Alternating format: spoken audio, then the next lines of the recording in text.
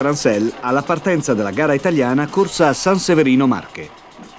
Caratterizzata dal freddo e dalla pioggia, la gara italiana prevedeva un giro di 90 km con tre prove speciali, due fettucciate su grandi platoni ed una definita in linea sul famoso crossodromo della cittadina marchigiana. La gara è stata come ogni anno l'occasione per tutti gli appassionati di enduro di vedere all'opera i migliori piloti del mondo e tifare per gli italiani, grandi favoriti sui terreni di casa. Ecco Stefano Passeri, attesissimo dai tanti tifosi venuti ad incoraggiarlo da ogni parte d'Italia.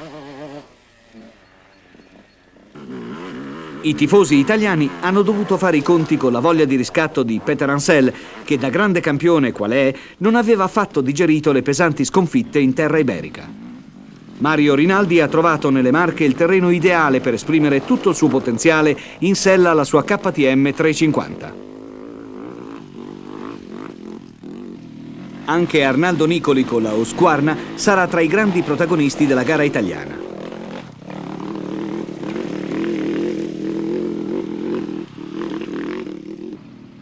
Un pericolo costante per le ambizioni di Rinaldi e Nicoli è il fortissimo svedese Anders Eriksson, qui impegnato in mulattiera.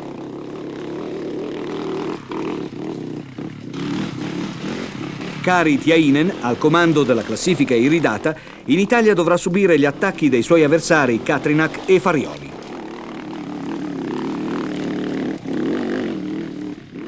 Ecco Fabio Farioli che in questa mulattiera vediamo seguito da Trampas Parker, il fortissimo crossista che ha voluto provare fuori gara il percorso mondiale.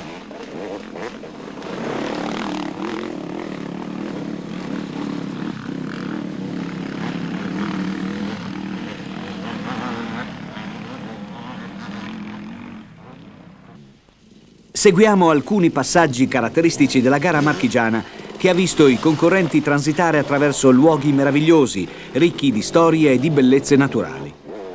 I percorsi sono stati resi più impegnativi e viscidi dalla pioggia che ha fedelmente accompagnato i concorrenti per entrambe le giornate di gara. Questi sono del resto gli elementi che caratterizzano l'enduro anche nei suoi aspetti non competitivi e che contribuiscono a rendere questa disciplina così appassionante e così diversa da ogni altra.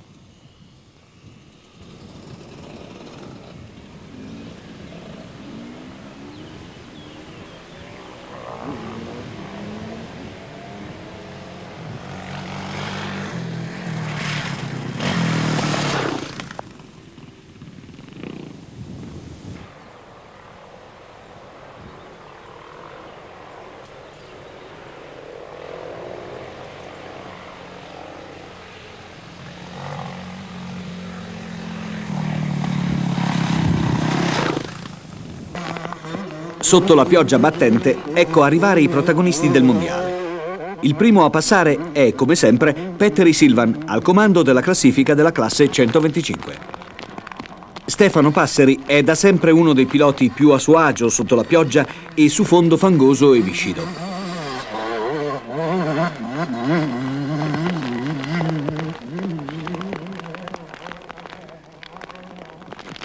Giorgio Grasso non ha trovato sui terreni di casa le condizioni ideali per affermarsi, a causa anche di alcune cadute di troppo.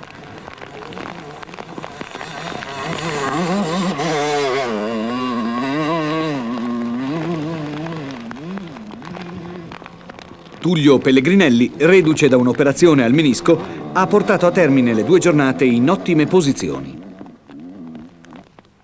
Joe Sala, a causa di una serie di piccoli inconvenienti, ma soprattutto per la bravura di Peter Ansel, non è riuscito a regalare una vittoria ai suoi tantissimi tifosi.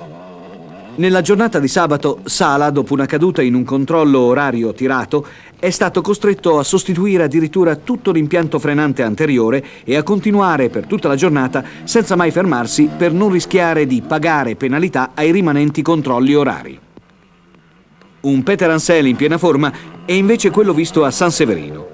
Con il suo perfetto stile di guida e la sua grande esperienza, il francese della Yamaha ha dominato la gara italiana lasciando ben poco ai suoi avversari.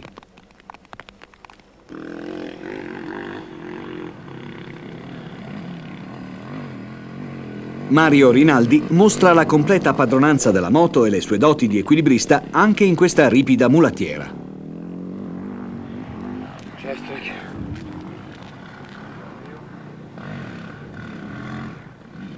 Anche Fabio Farioli non vuole essere da meno e si conferma sempre estremamente spettacolare.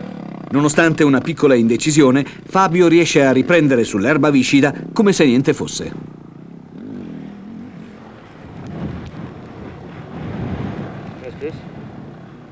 Per Jaroslav Katrinak la gara italiana porterà degli ottimi risultati. Questa è la prova speciale in linea della gara marchigiana.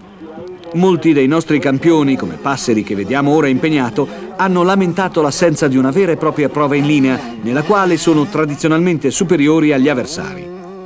Passeri è comunque riuscito ad ottenere un magnifico risultato grazie alla vittoria nella prima giornata e al terzo posto nella seconda.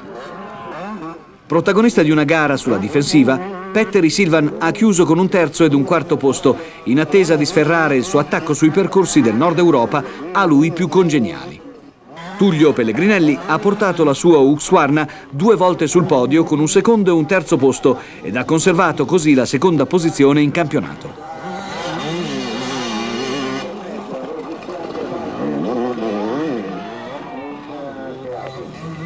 Su un terreno probabilmente più adatto al suo rivale, Giosala ha dovuto subire la prima sconfitta dell'anno e ha concluso con un terzo ed un secondo posto.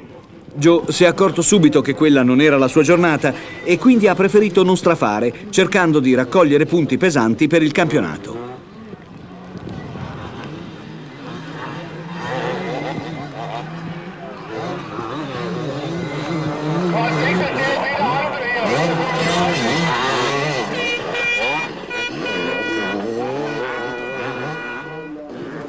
Ed ecco quindi il dominatore della gara italiana, Stefan Peteransel, con due limpide dimostrazioni di classe, il francese ha provato a tutti, ma principalmente a se stesso, di essere ancora tra i grandi della specialità. In campionato comunque il distacco è già di 19 punti, forse troppi con un avversario come Sala e con piloti come Pellegrinelli e Scovolo sempre pronti a dire la loro. Nella lotta tra i titani dell'enduro, questa volta chi ha avuto la peggio è stato Fausto Scovolo, Quarto il primo giorno dietro Peter Ansel, Pellegrinelli e Sala, Fausto è giunto quinto il secondo, preceduto anche dal redivivo Paul Edmondson. Sempre accesissima la lotta per la supremazia nella 350 quattro tempi con Arnaldo Nicoli nelle posizioni di vertice. A San Severino Nicoli ha ottenuto un terzo posto il primo giorno ed una splendida vittoria al secondo. Come al solito, in lotta con Nicoli, troviamo Mario Rinaldi, vincitore il primo giorno e secondo la domenica. Prestazioni eccezionali che gli hanno permesso di scavalcare, sia pure per un solo punto, l'amico rivale dell'Usquarna.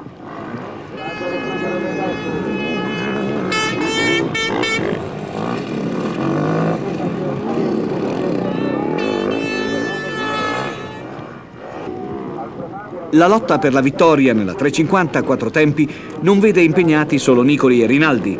Lo svedese della Usaberg Anders Eriksson è sempre sul podio o nelle sue immediate vicinanze e mantiene quindi la pressione sui due italiani. Kari Tiainen accusa in Italia una battuta d'arresto alla sua marcia trionfale, che finora lo aveva visto imbattuto. Comunque con un terzo ed un secondo posto, l'asso della Husqvarna perde pochi punti nei confronti dei suoi rivali in campionato.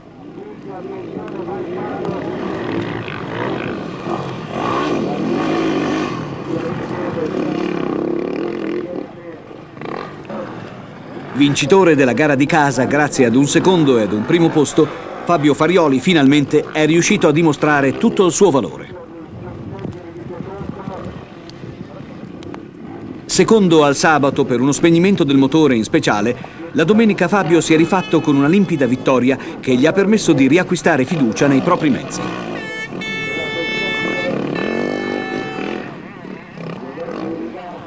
Pronto ad approfittare dell'errore di Farioli al primo giorno, lo slovacco Jaroslav Katrinak ha vinto la sua prima gara del 95. Il divario tra lui e Tiainen è grande, ma Katrinak resta pur sempre l'ultimo superstite delle grandi dinastie dei campioni dell'est europeo.